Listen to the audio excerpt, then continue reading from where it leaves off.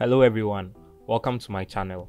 In today's video, I'm going to assist you to design this Independence Day flyer in Adobe Photoshop. So let's get started.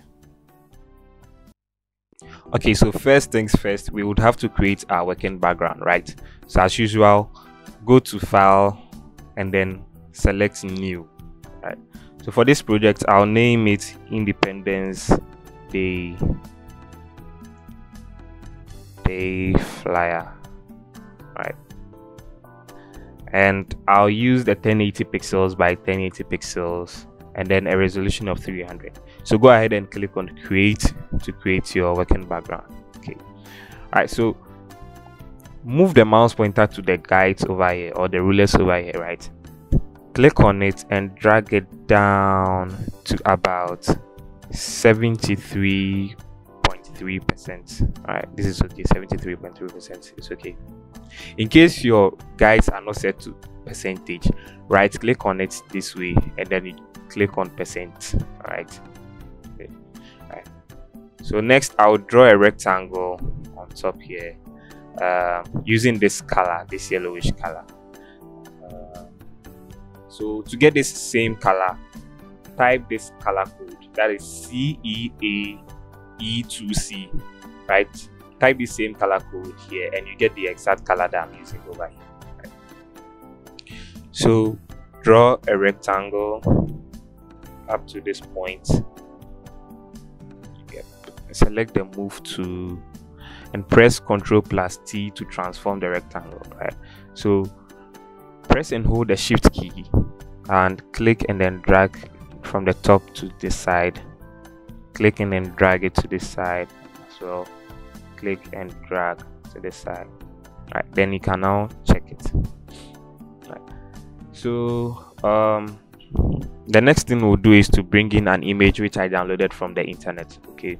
Um, i'll leave a link in the description area where you can download all the resources all the, all the resource files i used for this project right? So i'll bring in this image over here and then I'll hold the shift key and then click and then drag it up to this point to be in line with the shape you drew right? And um, lower the opacity to about 80 percent right? And clip mask this image onto the rectangle. So to do that you can either hold the alt key right and bring your mouse pointer in between the rectangle layer and then the image you brought in the layers you realize that the mouse pointer changes its color right? Then you click on it once. So now it has been clip masked into this rectangle. So it means whatever will be done on the image would, would affect only the image within the rectangle and not beyond the rectangle all right? Another way of clipping masking um, this or another way of doing this clip mask right is by right clicking on the image layer and then you select create clipping mask okay? And then change the mode to luminosity over here right? So next thing i'll bring in some of the independence images um, i've already cut out from the main background. So they are pbs psd files so i'll drag them here all right. Then i'll bring in this freedom and justice image over here. Okay. up to this point is okay. So i want to make sure this image is in the middle or in the center of the entire background. So press ctrl plus a to select the entire canvas right and click on this align horizontal centers you realize it's moved into the middle afterwards you press ctrl plus d to deselect it.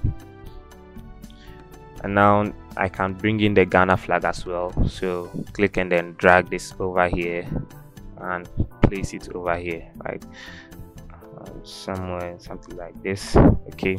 So same thing. I want to make sure this ghana flag is in the middle. So press ctrl plus a and click on this to align the horizontal centers afterwards you press ctrl plus d to deselect it. And now I can move this arc a little beneath down there right. So finally we can take off these guides because we don't need it anymore. Okay. So i want to um, give this image some sort of a vintage look right to make it look very good. Okay so move to the adjustment layer. Click on the adjustment layer and select the first thing i'll do is to select the hue and saturation right? And reduce the saturation to about negative 10 percent. Uh yeah negative 10 percent is okay right?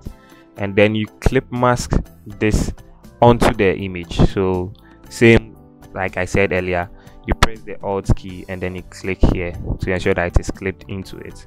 So the hue and saturation will only affect the image there and not the entire work. Right so the next thing is to add some sort of um, exposure. So same uh, same place go to the adjustment layer and click on exposure.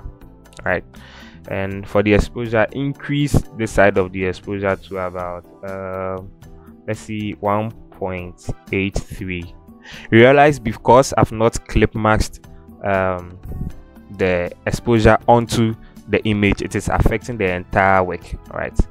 So let me clip mask it immediately. You realize now it is affecting only the image. Good.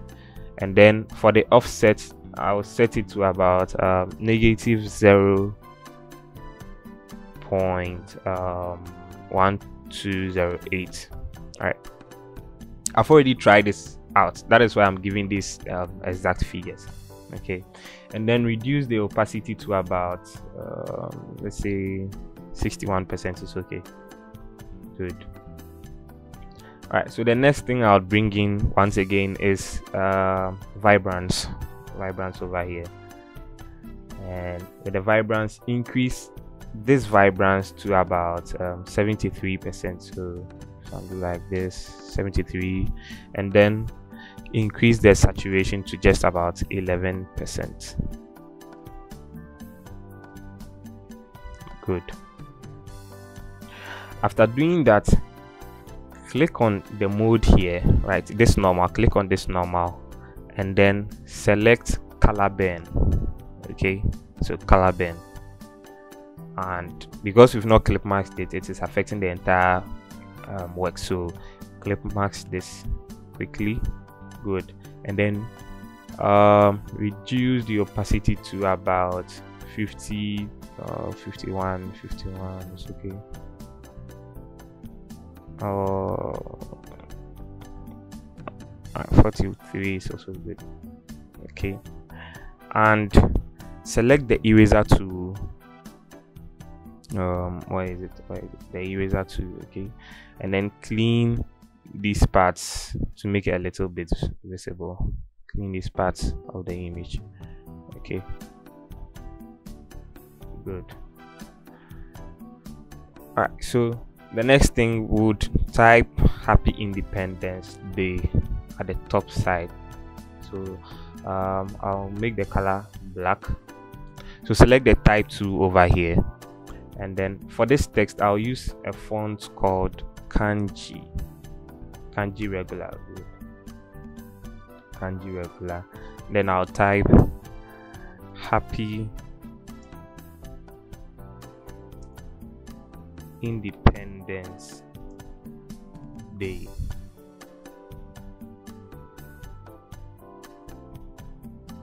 Okay. Uh, and then i'll increase the size a little. So press ctrl plus t to select it and then increase the size this way a little further. Alright so i want to make sure it is in the middle of the work. So press ctrl plus a to select it once again and then you align the horizontal centers and then you deselect it by pressing ctrl plus d and let me make it a little bit bold. So select or click on faux bold or faux bold okay? Or does it look better without it? Uh, okay. Maybe this is better. And then reduce the uh, how do we call it? This thing over here the leading um,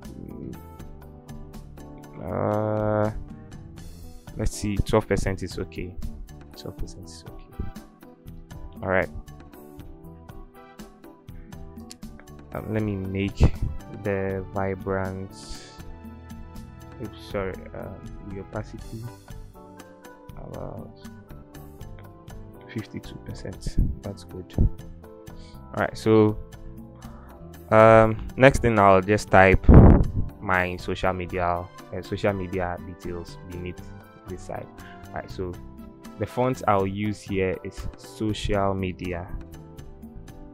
Social media 10 uh, it's here already.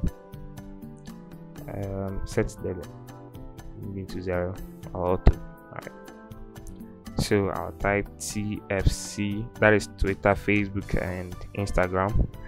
And then i would select another font while still on the same text. Select another font um, that is poppins. Poppins um, poppins bold right?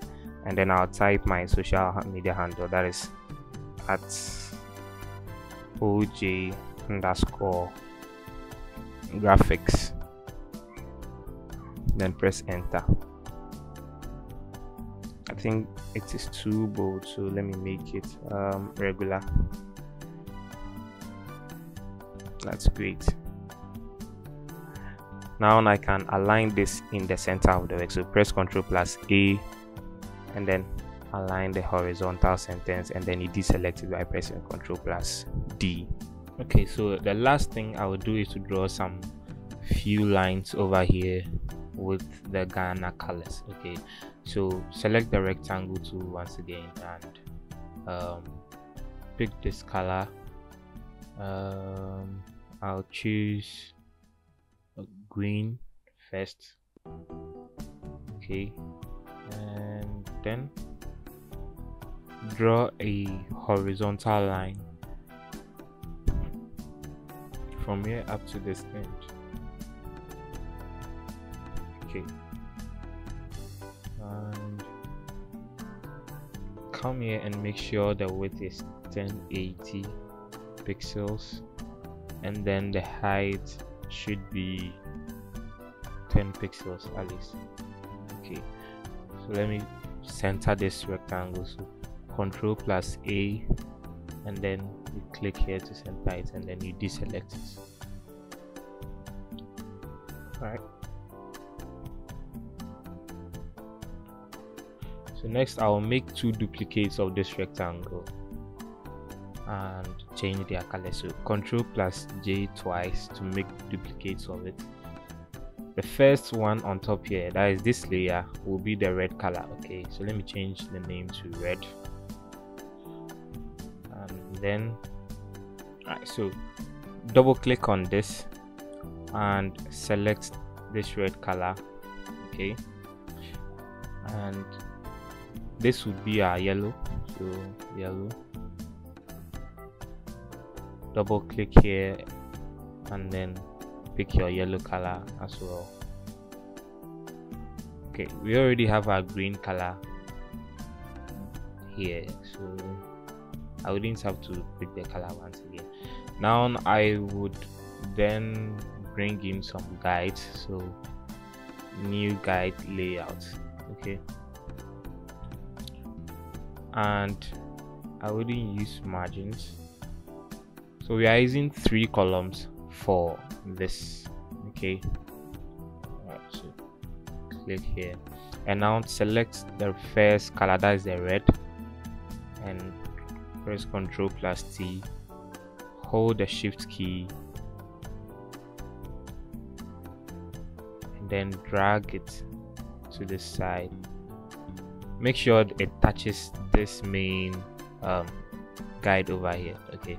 And then you check it. Then you select the yellow layer and then you press ctrl plus t once again and you drag it to the side. Then you check it once again. So afterwards you press um, control plus the column to take off the guides. So basically this is our final work. Um, i hope this video was helpful. If it was please hit the like button and drop a comment in the comment section as well. And do not forget to hit the subscribe button if you haven't done so. Please it is very important. Okay. So all right. See you in my next tutorial